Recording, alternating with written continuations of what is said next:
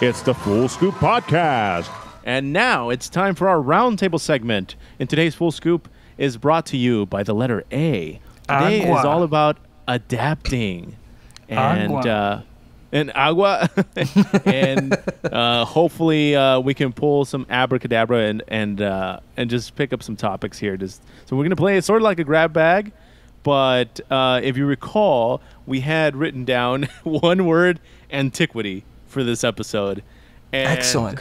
And then I was like, well, what are we? What the hell are we going to talk about? Then I was like, wait, we also wrote down aquifers at some point, and then Atlantis, and so I was just like, all these things are with the letter A. So I wanted to kind of open it up and and and just say that if you can think of any topic with the letter A, throw it out. If you notice, we've already talked a little bit about aerospace. We've been talking about AI, and um and now we're gonna we're gonna see what else we can come up with here, uh, based on these. So, Johnny, do you got anything? The Amazon. Nice. Let's hit it.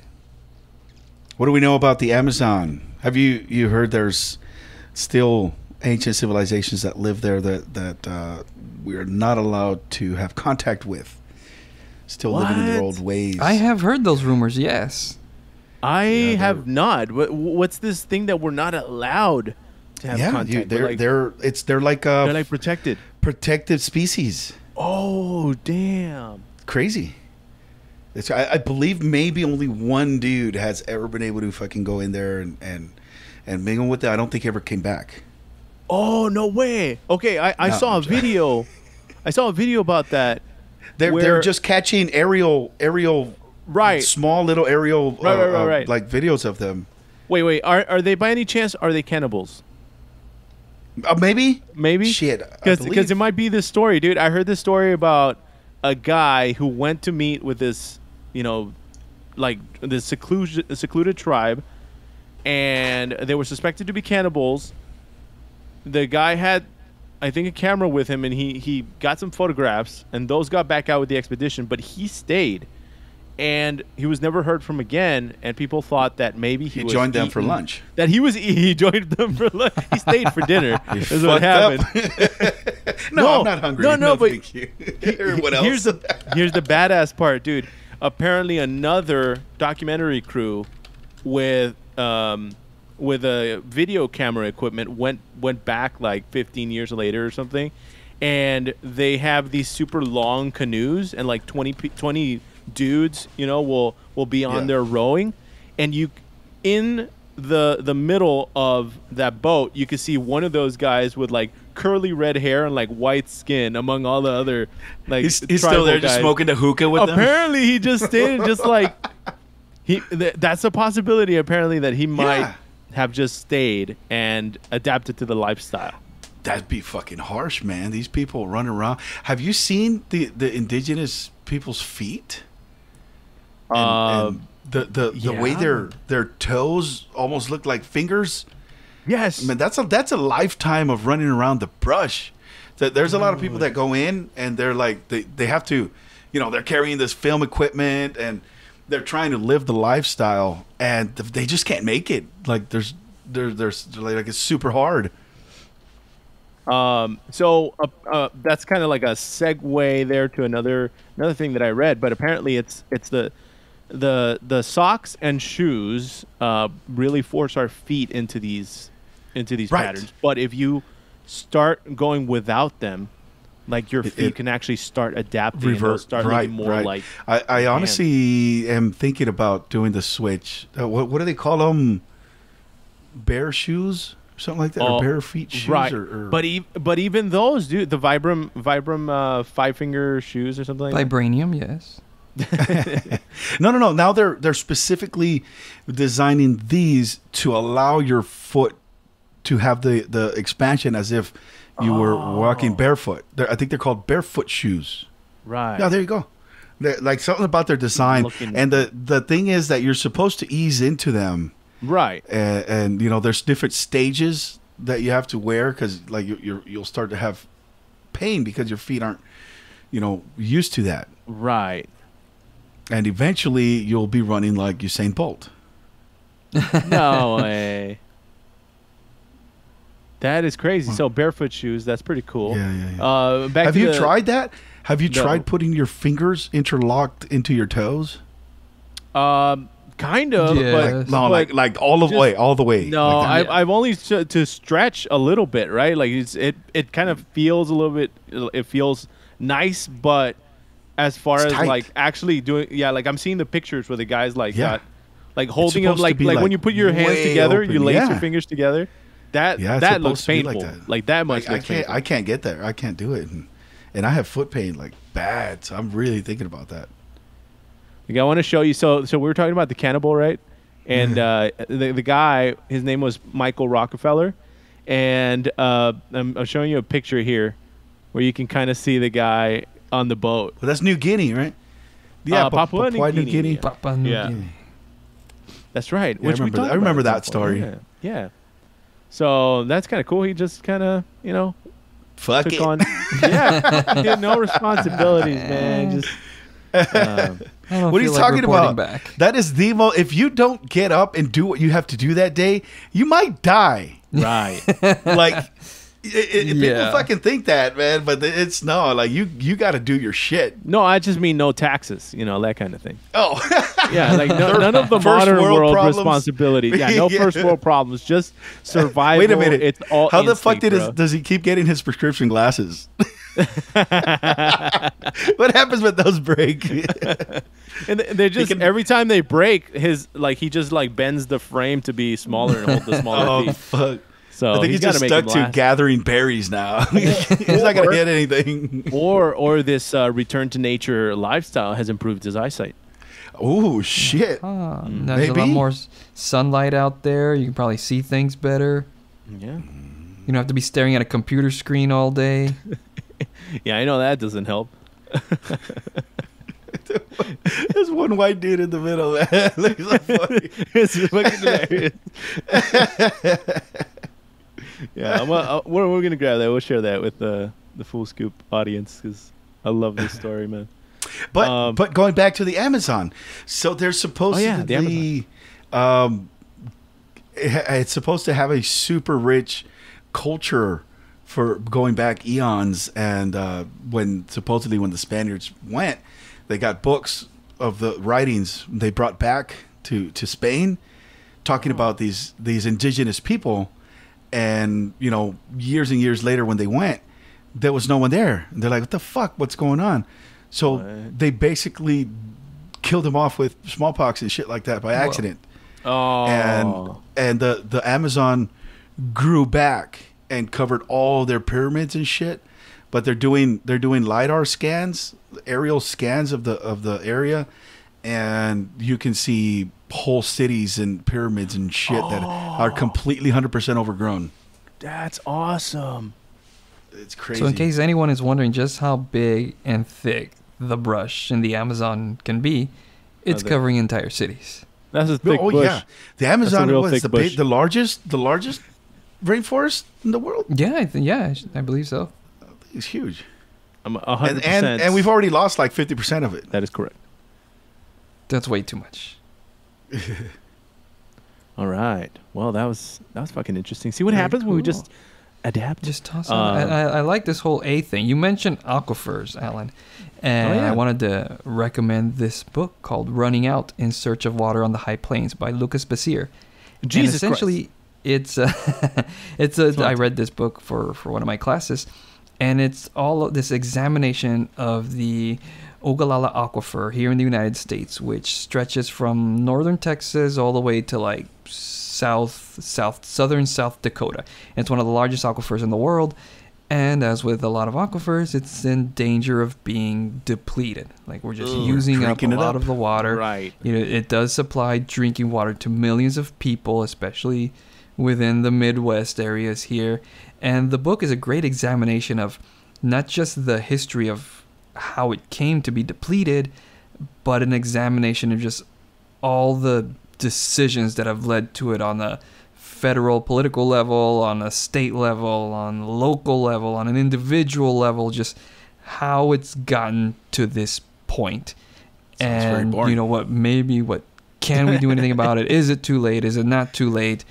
And yeah, it's, it's a great book for anybody who's interested in water conservation and things like that. It's actually a really, really good book to to examine and just and and a lot of it unfortunately does fall into the into the classic. Um, well, if they're drilling water, I'm gonna drill water. Might as might as well. You know, like Right. we're supposed to conserve, Yeah. but I know the neighbors he's are doing it, all so the I'm gonna do it too. Yeah, he's Drink drinking water, all water. And it essentially becomes a game of that. Like, okay, well, he asked people like, why are you, why are you doing this if you know you shouldn't? Well, I know my neighbors are doing it, This and motherfucker's they're taking gonna, it all. they're gonna use it all up, so I might as well use up what I can. And yeah, it's it's a, it's a really just really leaving the book. faucet on. Like, Fuck you, neighbor. Damn. But, oh yeah, shit, that for- thing's huge. Is that it? It's huge, yeah. That's it. God damn. We don't You get get our water from there. Fuck. Uh, we get So it. what you're from- saying is I should start drinking more water. We Well, start just bottling they your waste it all. We need, we need that uh uh what was that uh, that seed vault, but we're gonna need a water vault. right. Oh god. Well, it's I- called the ocean. It's called the ocean. We can't drink it. It's all salt. Wait, Yes, Johnny, you're saying that we don't get the we don't get the water from this aquifer?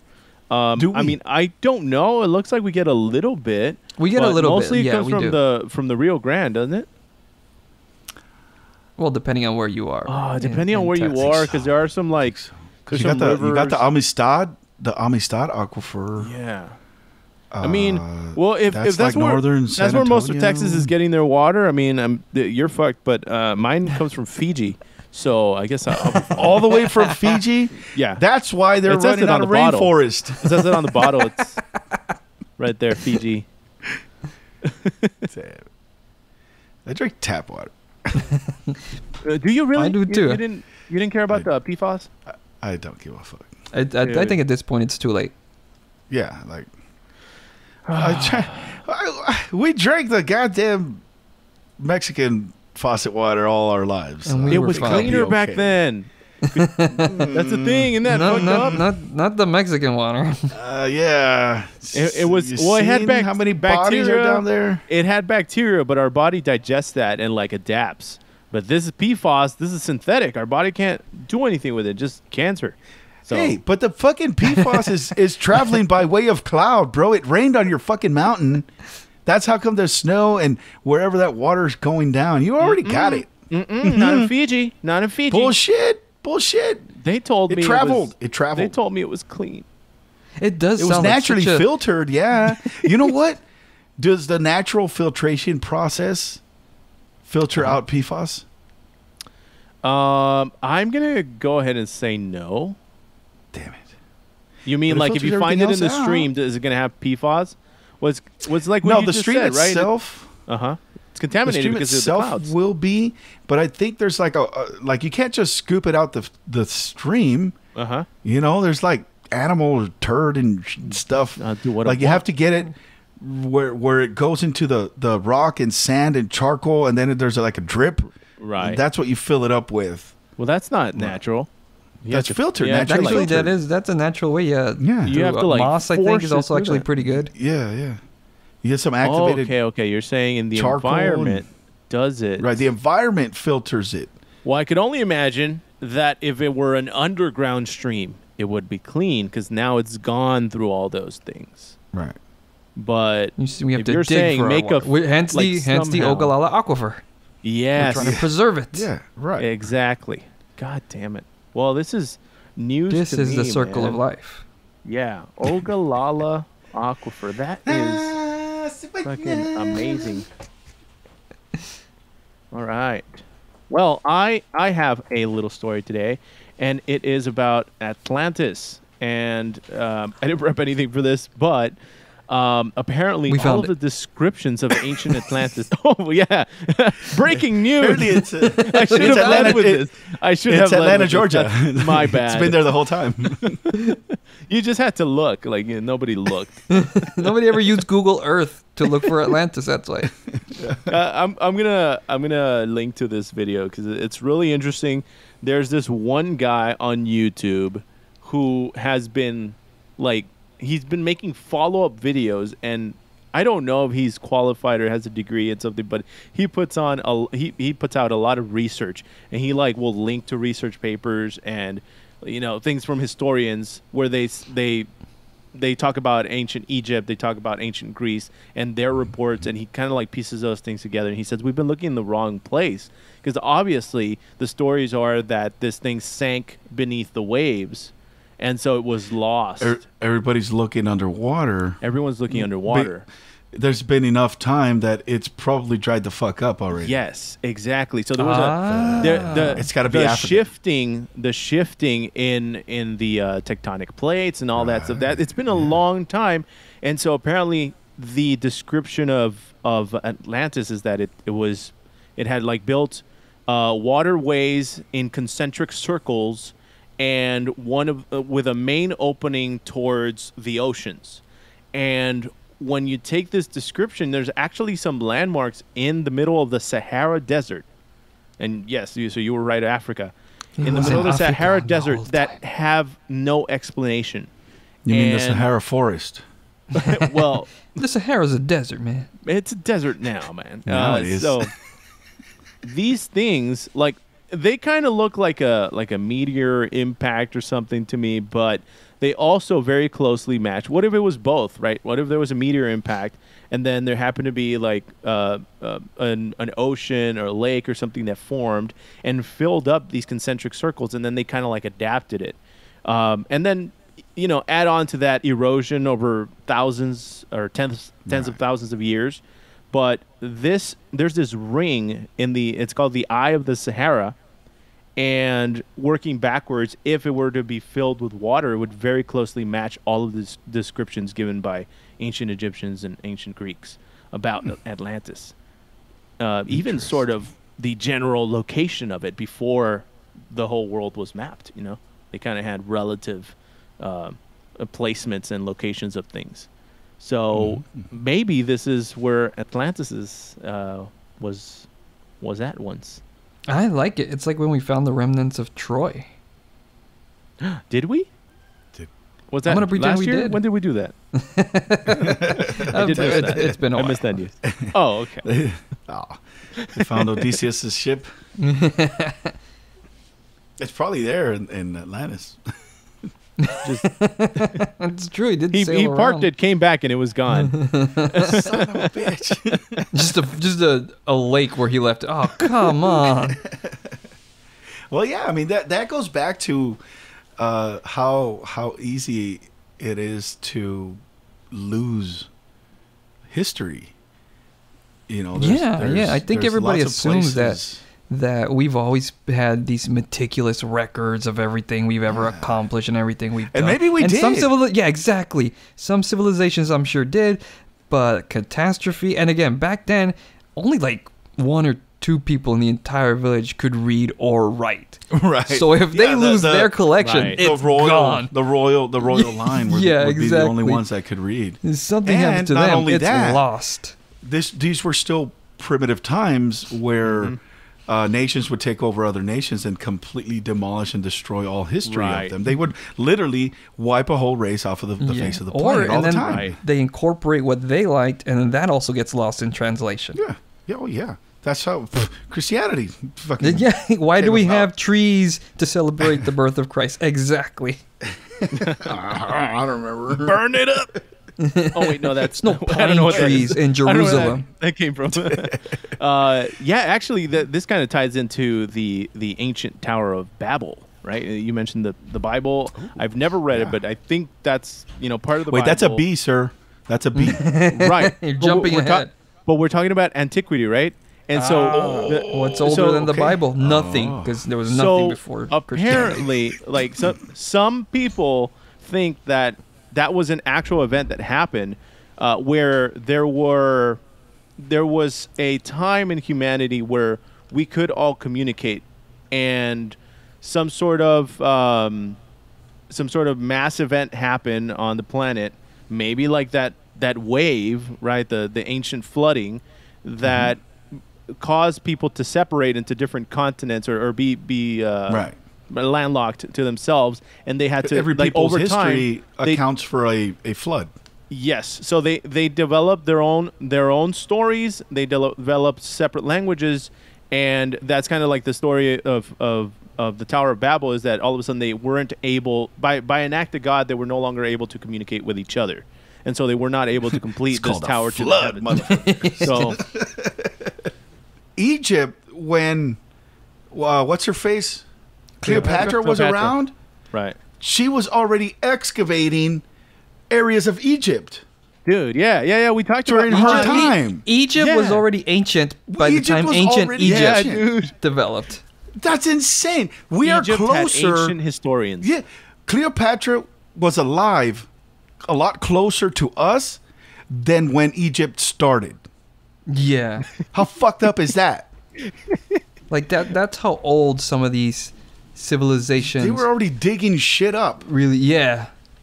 and like the- a, a lot so of a lot of their own history was already lost to them. right, exactly. Be, bef- before they we ever didn't even even know that shit was there. And that's their fucking hometown. the fuck? The- so that's what they said happened to the Sphinx, where it, it- they're saying it was an animal skull. uh, It was an actual lion. Some other motherfucker came around years and years later, carved his reshaped it. fucking face into it. a- yeah, it's so Oh. That's why the gotcha, face looks so gotcha. so tiny. Like it's completely misproportionate. it's al- it's almost as if like in Had a it few been planned thousand from the years from now, if, if something were to happen to the United States, thousands of years from now, somebody's exploring like the North American Midwest, and they're gonna see Mount Rushmore, and they're like, "Whose faces are these? Like, what's no, up it's gonna be four different people. It's Yeah. Not even the ones that are It- that are there right now. it's not even Washington and Lincoln. Or somebody else Right, came along yeah. and put their Maybe face like on it. Pikachu, Ryan Reynolds. They're like, what kind of mythical But look at that head. creature Look at was that this?" Sphinx head. You know, I If- never if they had noticed that. planned that, if so they had true. yeah, if there wasn't the original fucking plans, that head should have been like fucking six times larger. Bro, I, I never thought of that. That's amazing. The erosion that it shows shows that it was from a time of tons and constant rain, which was Oh. I, I can't remember supposedly Oh. how many thousands of years before our our known ancestors of Egypt. So they fucking think that that fucking Sphinx is way older than we ever could imagine. Oh, shut Listen, listen to this. Cleopatra is closer in terms of years to the opening of Pizza Hut than she is to when the pyramids were completed. We're, we're Right. yeah, we're built. Right, right, right. Yeah, That's like those crazy. pyramids. To the, Great grand Pyramid was opening of completed Pyramid Hut. 2560 Yeah, BC. that's crazy. So she's closer to she's closer to the moon landing than she is to when the pyramids were completed. Wow. like dude. that's that's how ancient that culture I, I think was. that's what Did they have people have a hard Egypt time and- fathoming and, uh, those that, that amount of time and that amount of years. Yeah. Right. Right. like right, even though you say it, I'm like whatever. Yeah. like, Sounds No, ridiculous. It's still a long time ago. But that uh, that should give you like an idea of like just honestly how much history has been like 99.9999% of history is lost to us that we will Yeah. probably unless we figure out time travel we will never know for sure what exactly I don't like, think how much I don't is think we could ever go back though. I don't. Mhm. I don't. I don't believe. We're gonna have in- to because in the, a the past- game game's over in 2100. So Is that is that the new Mayan calendar? no, that's, that's the supercomputer that that told us. Earlier. Oh, that's right. Yeah, That's the right. super- That's the supercomputer. civilization. It's- it's- so to be It's fair called- that that we're almost at calendar the was end the of the Mayan tape. We need supercomputer to we need to What's the rewind the, program tape. called? Mayan calendar. the Mayan countdown the rapture. But yeah, I don't believe in in in a linear time travel. Oh. I don't believe in a linear time. Mm, mm, mhm. I- I- like the past, present, and future, like th- those are created in humans' head as a concept to like, Understand. put it down To on to, to understand something, right? To put it down on paper, to understand to interpret, and to to to be able to communicate in a specific way. Right. um, I, I only believe there is a now, and like they say, time is relative. I said, well, I don't think it's, time's not relative. Your molecules function differently depending on where you are, is what that means. Mhm. And and you know what the uh, most accurate way to keep time is? uh, I was gonna say the uh, the atomic. Clock? the atomic clock Correct. Vibrations of an atom. Ah, yes. But when you put this atom in different places under different forces of gravity, it'll vibrate differently. Oh, yeah, well, you got to incorporate gravity, man. But I do so I do believe there is a a way to travel into the future. You're not necessarily doing anything. You're there's nothing different to you. It just happens to be where you are.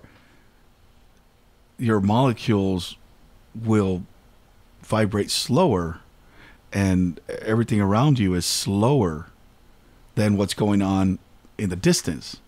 So oh man, there's no jump backs. There's no returns. Right. There's no comebacks. You can't go forward. We know that already. So you know, and and that's just that just comes with the the understanding that there there is no past or future or or there is only now. There is only what's happening at that moment. Well, Very good. I like that. as we're talking about atomic clocks, I'm reminded of our recording clock and realize that it is time Way past. to wrap up the full the scoop. it's in the red. We've got So we're we're gonna completely cut out Johnny's explanation and make it look like he had no answer for my question. I'm gonna cut it to uh, at where he says, uh, Uh, well, thank you for the. Thank you.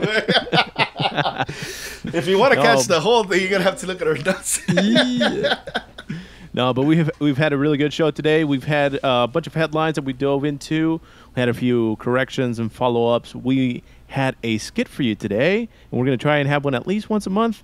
Uh, but don't hold us to that because you know it's that's all. It's a lot of work. We're still looking for an intern to help us edit all this stuff. So if you know anybody, like a, go ahead a third job for me. No, yeah, Like I gotta show up here, and you still give me homework while I still have to go to my job. yeah. Fuck. That's what it is, man. It's uh, it's, it's extra. You know, I dropped out. for good stuff. So, listeners, thank you very much for joining us today and sticking around. That is our show for now. You know, we've learned a lot today about aquifers and atomic clocks, and I really want to thank Johnny Kelso for enlightening us there. It's Just- probably wrong, but, but I sell the shit out of it. You know what? But it sounded correct, and I think that's really what's most important here. Can you say it with conviction? And I think he did. He he said it with authority. Uh, letter A. You can find links for today's stories in the show notes. And don't forget to join us next week. We'll be talking about siestas. That's naps.